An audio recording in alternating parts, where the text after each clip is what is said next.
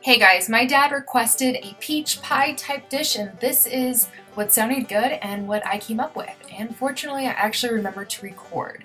So what you're going to need is four peaches and you're going to slice them so that they're about, as you can see here, about a half of an inch thick. You can peel them or you can leave them unpeeled, which I did for multiple reasons, but mostly laziness, and a lemon. You're going to want to roll your lemon a little bit just so that the juice is, is ready to go. And then you'll need to zest your lemon. So you can zest a half of a lemon to a full lemon. If you do a full lemon, the lemon taste is going to be equal, if not slightly more than the peach. And by zesting it, all you're going to do is run the lemon rind over this microplane, and that's how you get this here lemon zest. So it's up to you as to how much lemon you'd like to use and how much lemon you like, if any. You don't have to use any at all. It's it's optional, but it really makes it delicious and summery.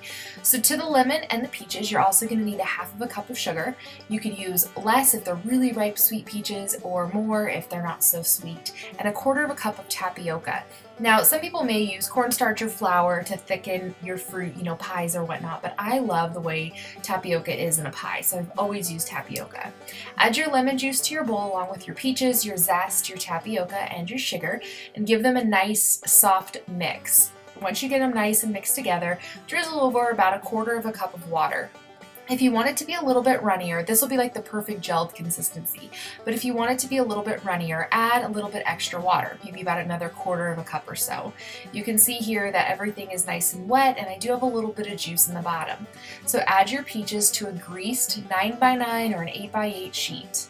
Now for the topping, you're going to add about 8 tablespoons or half of a cup of butter, to and I, as you can see, I cubed it up just so that it's easier on my mixer or by hand half or a full cup of packed light brown sugar, dark, whatever you have, a cup of regular all-purpose everyday white flour, and a teaspoon of baking powder and a teaspoon of cinnamon.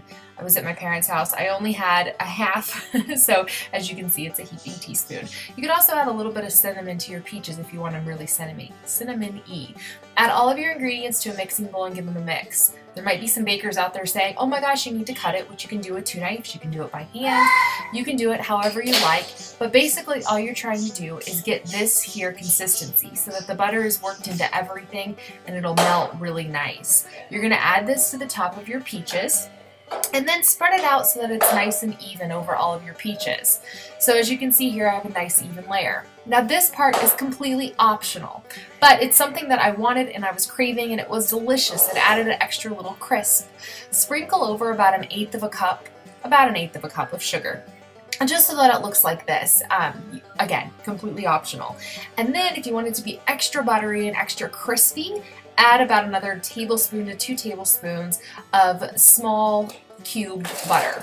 And then this way when it melts, it's going to kind of melt down and be extra crispy crunchy.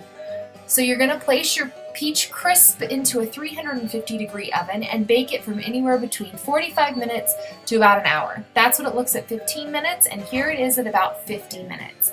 As you can see it's bubbling and you know crispy and it's just it's cooked all the way through and it is delicious. So what you're going to want to do is let it set.